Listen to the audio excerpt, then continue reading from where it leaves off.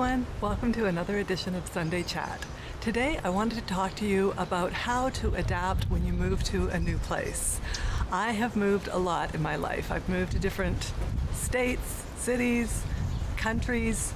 Um, I've moved internationally, so I think that I'm probably a pretty good authority to speak on this subject. The very first thing is no matter what your natural inclination is, if you want to feel like it's home and to settle in and fit in, you need to make friends. And that is not easy. Everybody there already has their life, their structure, their routine, and their existing friends. It depends on which country you're moving to because some people are more friendly than others. But you definitely have to make the effort. If you work or you have kids, that can make it easier to meet people. Um, ask people if they want to get together for, you know, dinner, lunch, a drink, whatever works outside of the normal circumstances of dropping your children off at school or seeing your coworkers at work. And pretty soon you will establish a friendship. If somebody says no or they're busy, ask somebody else. Don't be deterred. You have to be outgoing and you have to try over and over again. And eventually someone will say yes, and then they will introduce you to their friends. And it's amazing how once the cycle starts, it perpetuates itself in a positive way. Another thing you can do is go on to meetup.com. This is a great site that for, is for free if you are not starting a meetup. If you're just going to go and you can drop in on any of them. There's all different interests. There's hiking, there's dinner clubs, there's wine groups.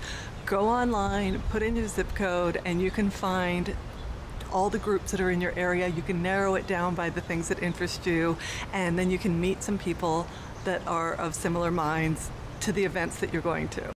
Another thing you can do is check a little local flyer. A lot of newspapers, a lot of neighborhoods have little newspapers that they drop off or your local library. They frequently have a lot of different things that you can go to or events that they know about, and that's another great way of meeting people. Another way is volunteering. This is great because you're also contributing and you feel good about what you're doing, whether you're donating your time at a hospital, a food shelter, an animal shelter. There are always places that are looking for volunteers, and you never know who you're going to meet there and be able to connect with. I also did a video on starting a club, so if you can't find anything that interests you, start up a club yourself. You'll have a lot of fun trying to pull together everybody and revolving around your passion of whatever it is that you want to do. And then finally, play tourist in whatever town you've moved to. This is a new place for you. Go out and explore. Even if you don't have a friend, don't be deterred. I remember that I would go out a lot of times for coffee or for dinner, and I had my book with me, which was my foil to keep me um, comfortable while I was out.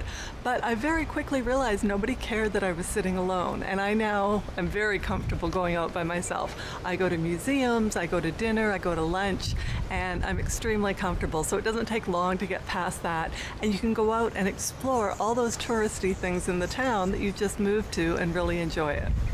Finally, I have a saying for you that might help. When you move away somewhere, the first year you're homesick, the second year you're homeless, and the third year it feels like home. So to me, what that means is it's not a quick, instantaneous process. Give it time. It takes a while to build up friendships, to feel comfortable in a place, to make memories, to get your bearings in a place, and it will eventually feel like home. So hopefully this video was helpful to you so that you can make your new place feel like home. If anybody has any tips to share, please do so. I love hearing from you. And thank you so much for watching. I really appreciate your time. I hope you have a fantastic day, and we'll talk to you next time.